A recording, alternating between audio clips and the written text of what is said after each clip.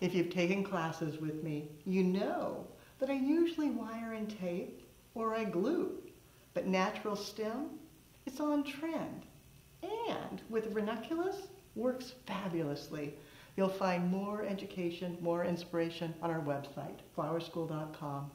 But now, it's your turn. This is an easy task.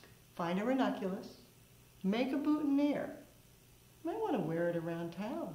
Be sure to take a picture. Post it on social media and hashtag Floral Design Institute.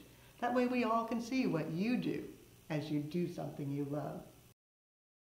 At Floral Design Institute, we get so many calls and emails asking about ranunculus. Will they work in a corsage? Will they work in a boutonniere? Can I use it on a wristlet?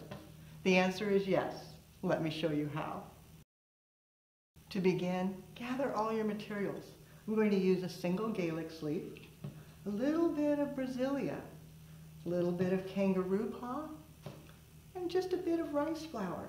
Nice color and texture contrast.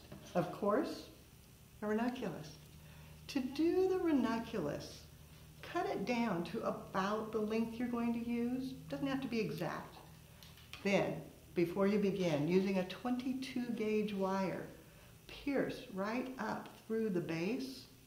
When you feel the resistance, push just a little bit further into the head. You don't want to come out the top. So just to resistance, little bit of a push, then clip, and you're ready to assemble.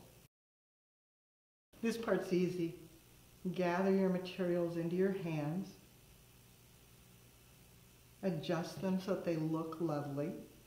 And I purposely picked items that will dry nicely. And the ranunculus, it will hold beautifully. Adding in the leaf, a bit of rice flower.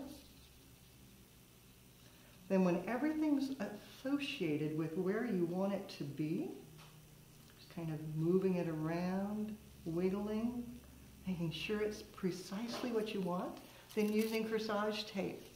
Tack right up at the top. You don't need to go down the stems, but tack right at the top. Give it a tear. Cut your stems. Then, using ribbon, wire, twine, just bind the stems together. You can see that full demonstration online with Teacher Michelle's slideshow.